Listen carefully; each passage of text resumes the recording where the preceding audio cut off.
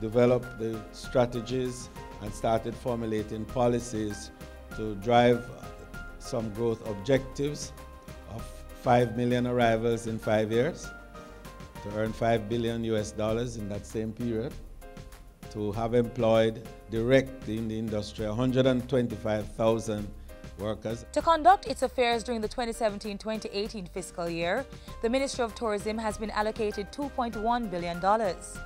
Earnings from the Tourism Enhancement Fund, as well as industry training programs and inspection fees, will contribute another $4.3 billion. The money will go towards continued and improved implementation of the Tourism Master Plan to promote Brand Jamaica and allow for greater earnings from the sector. Under Minister Edmund Bartlett's stewardship, the major focus this fiscal year is to increase linkages with domestic economic sectors, to expand tourism's impact on Jamaica's growth plan, and spread the benefits among a wider section of the population. Agriculture and manufacturing we regard as the two central moving points that must converge seamlessly to make the supply side work. Because the industry requires food 24 7 on the manufacturing side. It's for the beds and the sheets and the pillows and the pots and the pans and the cans and the kettles. It's for the furnishings and the appliances. The work of the Tourism Linkages Hub will continue with an allocation of more than $81 billion. The ministry is also concerned with the welfare of workers in the industry. To provide a social security arrangement so that after you have worked and done well and given this high touch, high quality, exceptional, come to mind, service above self that we've asked you for, you must not be left to flounder on the rocks of retirement.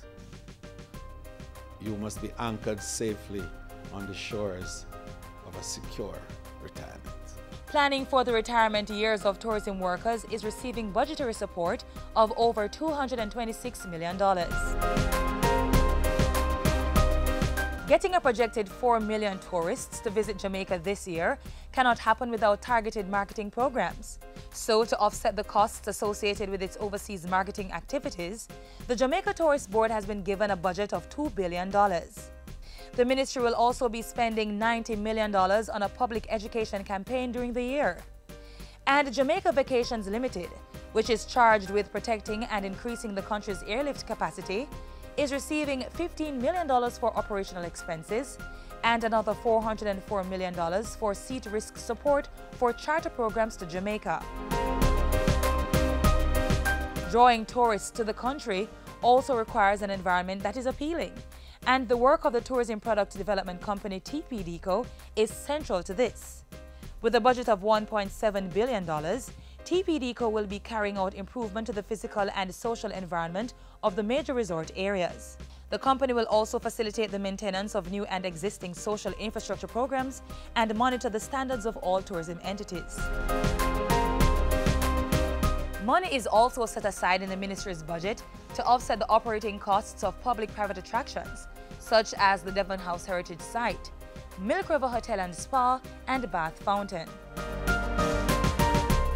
And as part of ongoing work to ensure quality control in the craft sector, $1.13 million is allocated for the development of a craft policy.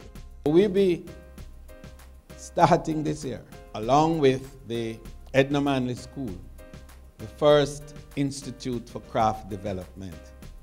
And that will be established this year in Ocho-Rios area of St. The Ministry of Tourism would not be able to successfully position Jamaica as a major player globally without the support of some key regional and international organizations. $33 million will be spent to secure Jamaica's membership in two of those entities, the Caribbean Tourism Organization and the United Nations World Tourism Organization, UNWTO. The Ministry of Tourism is expecting a record-breaking year in earnings and visitor arrivals and will be executing a series of targeted programs to ensure that happens funded by a budget of $6.45 billion.